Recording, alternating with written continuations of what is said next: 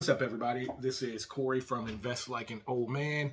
And as always, thank you for taking time to watch my videos. I hope that I can educate you and inform you on some topics that you may have questions about. And today's topic is, is real estate a good investment right now? Um, before I get into that, make sure you like the video, subscribe to the channel, and share it. Obviously, I want as many people to watch the video as possible. Um, you know, I want to make sure that my message reaches people because my goal is to educate and inform based on my experience um, that I have uh, with investing in real estate as well as the stock market. So um, a lot of people are, you know, on the real estate bandwagon right now, and they have been for the past year. And uh, people that know I invest in real estate ask me things like, you know, is real estate a good investment?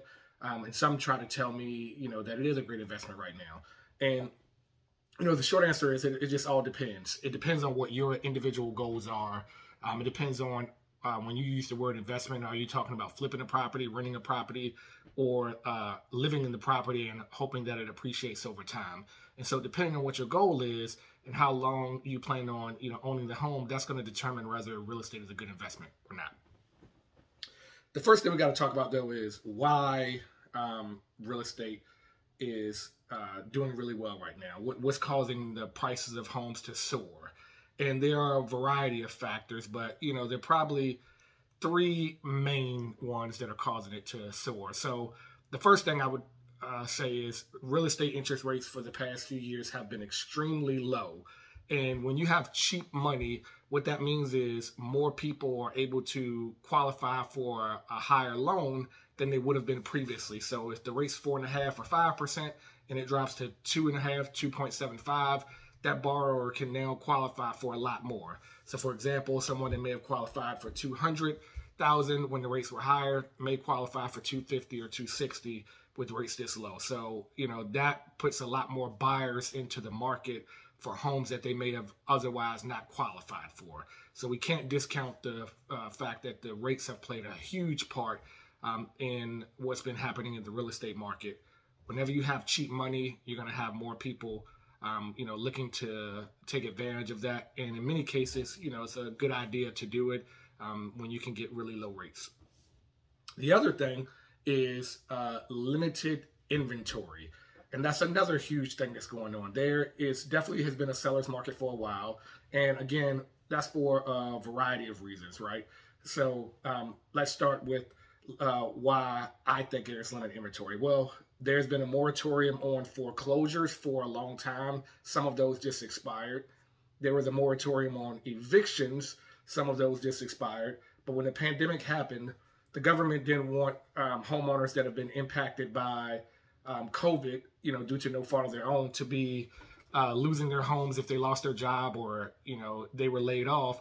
The government wanted to make sure they stepped in and didn't allow banks to foreclose on homes, and uh, that kept a lot of people who otherwise, you know, might have gotten foreclosed on before the pandemic happened. So you think about it, there's always a certain number of foreclosures every year, regardless of whether we have a pandemic. Well, when you put those rules in place, those people who otherwise would have been foreclosed on get to stay in their house longer. In many cases, not pay the mortgage, and uh, those that's inventory that would have been on the market. Um, that in many cases would have lowered the overall value because um, typically those homes don't get fixed up, and typically a foreclosure um, you know, is going to sell for less than a house that's fully fixed. So um, that is obviously a major reason. Another reason is uh, there have been shortages on the supply side. So I don't know if you remember early on in the pandemic, if you wanted to go to the store and get wood, you couldn't even get wood um, for a new deck or for your backyard. And if you could get it, it cost an arm and a leg. It cost a lot more to purchase wood and build a deck than it did in previous years. And so even, you know, if factory shut down for a couple of months, when you're used to a certain amount of uh, supplies that are coming in and out, and it's shut down for a few months due to COVID because of laws in certain areas, then that kind of blocked the supply chain where you couldn't get the materials. Um, the third reason ties directly into this. Um, when you the government gave stimulus checks to you know most Americans, you know households that had an adjusted income of 150,000 um, received uh, stimulus checks and they received a certain amount based on uh, how many kids they had. And they did that multiple times. So for a lot of people, if you think about it, they didn't have a loss of income. They probably didn't have to drive to work. So you uh, com- you take the combination of cheap rates and then stimulus checks. Many of these people who were considering moving now got an influx of money, and they decided now is the time that they want to go ahead and you know make the move and uh, purchase a new home, right? The other side of that coin, when I talked about supply chain, I said you had factories that were closed down for months, and you know even when they opened, may have may have had trouble um, getting uh, enough workers to meet the demand. The demand skyrocketed. So how many people do you know that got stimulus checks and you know got a new deck put on their house, got a patio, um, they did something around their house, they renovated their kitchen or bathroom. Well, all that free money just increased the demand on a system that already couldn't meet um, you know what they were previously doing before the pandemic happened. So you add up all those things. So that meant that you know it might take longer or cost more to get a new construction home um, than it would have cost a year ago. I know people who, you know, looked at homes last year and, you know, it might have been $80,000 more to build that exact same home. Um, and, and part of that's the builder taking advantage of, you know, real estate prices skyrocketing, knowing that they can sell for a certain price. But others, the other part of that is just that their supplies do cost more um, this year than it did last year based on all of the demand constraints that we've had. So those are the reason why real estate um, has been extremely elevated and, and done well. Now we have to ask ourselves how much of those factors are going to continue into the near future and, and, and definitely into the long term future, right? So rates may stay low for an extended period of time. And what I mean by that is, you know, over the next couple of years, um, the feds may raise them because we've had really high inflation. But the truth is, none of us really know um, what's going to happen with that. But I, but I think it's safe to say that um, rates are probably not going to significantly increase, you know, over the next couple of years. So they'll still remain um, fairly low by historical standards, even if they're, you know, a percentage point higher than, you know, where they are now.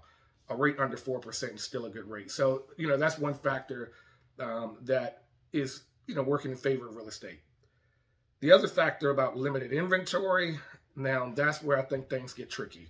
Um, I do think you're going to have an influx of homes that have come in on the market that have been backlogged from foreclosures that couldn't happen, um, from people who are landlords who own properties that couldn't evict a tenant. So therefore, you know, they may not have felt comfortable putting it on the market or not been able to put it on the market. Now they will be able to get those tenants out that weren't paying, and the bank will be able to foreclose on property. So um, I don't think there's going to be a long term, um, you know, limited inventory um, that's going to weigh on it. So still got decent rates, but they're probably going to go higher.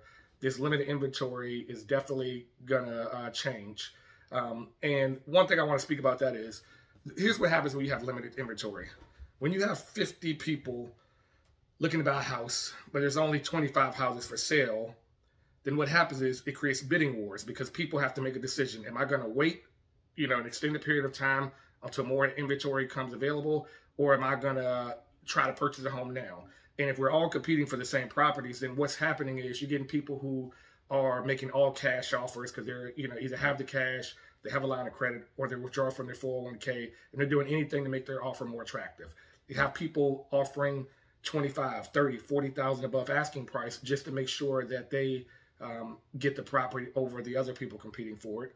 You have people waiving inspections um, which means they're willing to purchase a house without not without knowing what's wrong with it, or maybe they find out what's wrong with it and the seller says, "Too bad. If you want to buy it, I'm not fixing it. You buy it the way it is."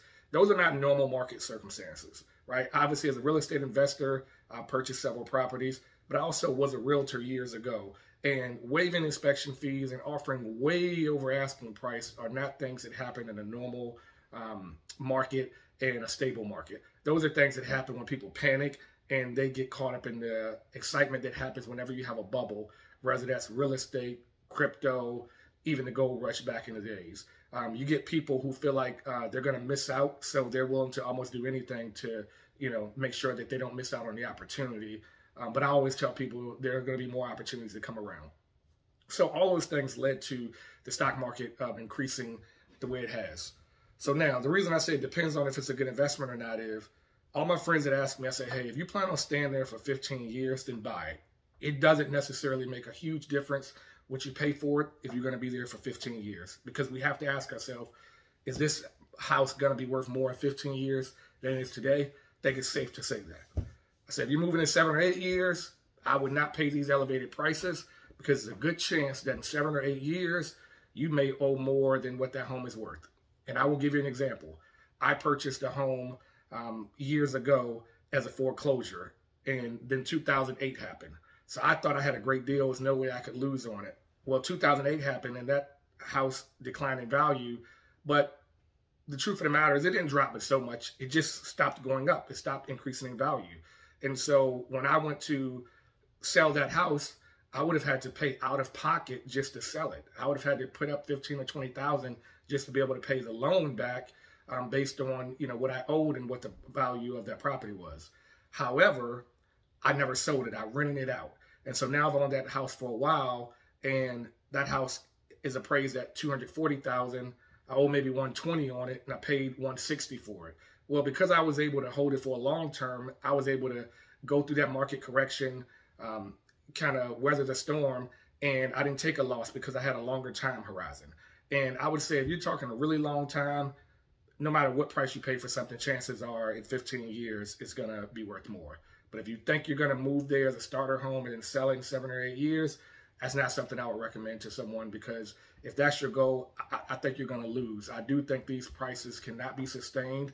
I don't think rates can stay low forever. And all the factors that have led to this market going so high um, are not sustainable. So, um, you know, you have to ask yourself, um, is it a great time to be buying? Some people are selling their house at an all-time high, but you're also taking that money and buying at an all-time high. So, you know, in some cases it can be a wash. So you have to think about those things. The other thing is, are you looking to flip or are you looking to rent? If you're looking to flip, and you have a network where you can get properties before they hit the market and you're not purchasing properties off of MLS, it's possible that you can actually um, make a decent return.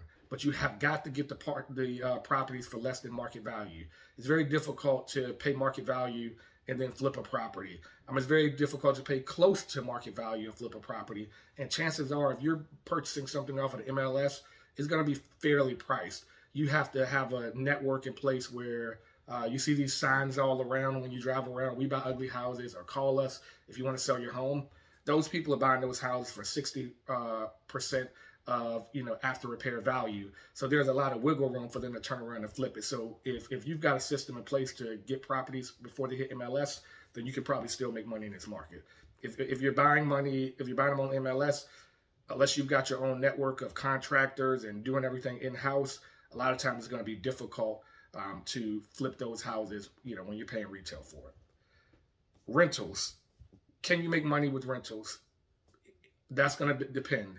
I think it's very difficult to buy at an all-time high and still be able to make money. Um, I'm going to keep referencing the lower rates because rates are so low that it is possible that you can pay more for a property, but your payment, you know, stays the same as what it would have been had you bought that property for 20000 less a couple years ago and had a higher, higher interest rate.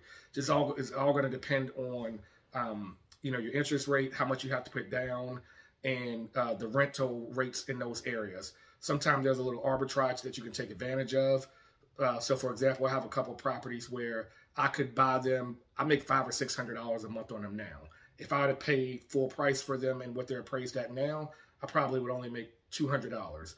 But depending on how much money I have to come out of my pocket as a down payment, $200 a month on a rental property is actually not bad. They're all not going to be five or $600. But properties, uh, the point I'm making is properties that a few years ago that I purchased that I was making that much in cash flow. If I bought them today, it, it would be half of that. So for me, I'm just going to wait it out a little bit.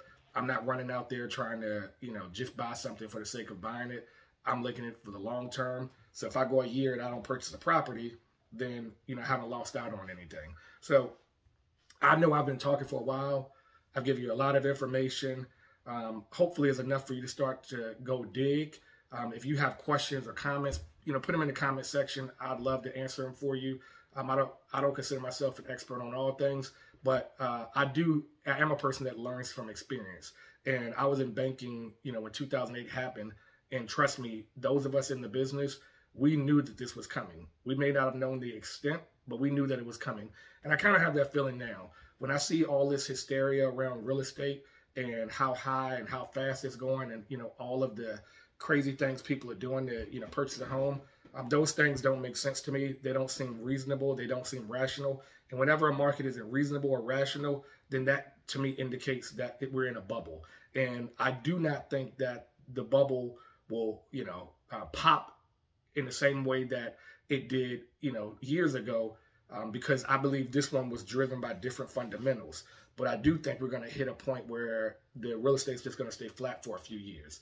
Um, and the reason why I don't think it's going to burst like a bubble is because we have more qualified buyers that I don't think are just going to walk away. Whereas previously you had no cash in the deal, uh, you know, you probably no income documents, and so a lot of people who already had poor credit, um, who didn't put any money on the house when things didn't go right, they just walked away. I don't think that would happen again um, this time. So I do think you have a floor there, but I definitely don't think you're going to see the appreciation over the next six or seven years um, like we have. I think they're going to stay flat and in some cases have a small decrease. So um, if you have questions, comment. Again, like the video, share.